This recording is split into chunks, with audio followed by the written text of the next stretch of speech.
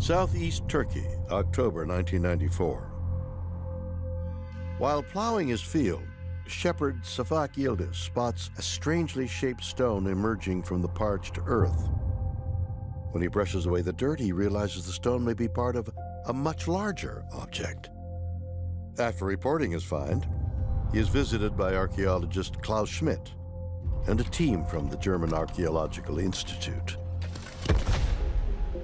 Further excavation reveals the stone is actually part of a massive, elaborately carved stone pillar.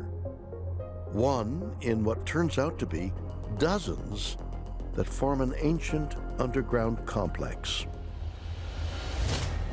Göbekli Tepe is arguably the most important archaeological discovery in recent years.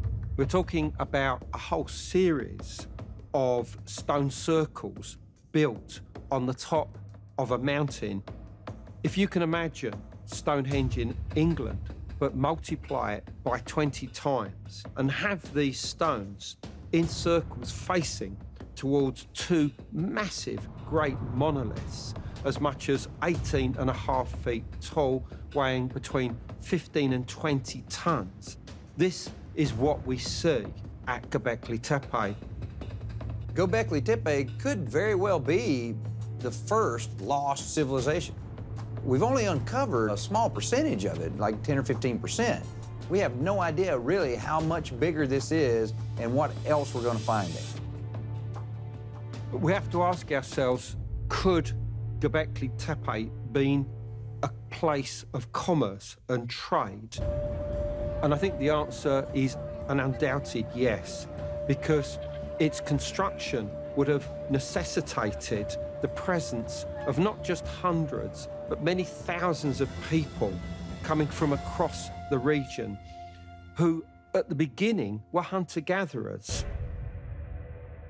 While there are many theories, the true purpose of Göbekli Tepe remains shrouded in mystery. But no less mysterious than the stones themselves is the lost civilization that fashioned them. Because when sediment layers of the site were carbon dated, it was shockingly revealed that Göbekli Tepe is more than 12,000 years old. Göbekli Tepe really did send shockwaves through the whole world of early prehistory because we'd never before known or imagined even that simple hunter-gatherers could produce such spectacular monumental structures as, as are found at Göbekli Tepe. Now, many of these pillars also have remarkable carvings on them, wonderful carvings and bas-reliefs of animals, birds, insects, all kinds of things. So to fashion those and carve them and set them up in these structures was just absolutely amazing. More than one-third of Göbekli Tepe's stone pillars contain elaborate bas-relief carvings of various animals. But what has many archaeologists and historians puzzled is that many of the species depicted, like geese and armadillos and wild boar, are not indigenous to the area. That location just happens to be near where Noah and the animals in the ark ended the long journey through the flood. And these giant pillars in Gobekli Tepe have carvings of animals, many different kinds of animals. Are these the animals from the ark? Did the stories about those animals end up being depicted in stone? Could there really be a connection between Göbekli Tepe and the Great Flood? Perhaps. But according to another audacious theory, the animal carvings at Göbekli Tepe may have been inspired by another, even older, biblical story. Göbekli Tepe is located in the very area that the Bible tells us the Garden of Eden was located. It is said that Eden was where the four rivers of paradise took their rise.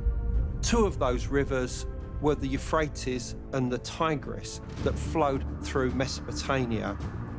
And these both rose in the same area as Göbekli Tepe. Professor Klaus Schmidt, the German archaeologist, even suggested himself that this could be the area of Eden and the point of foundation of civilization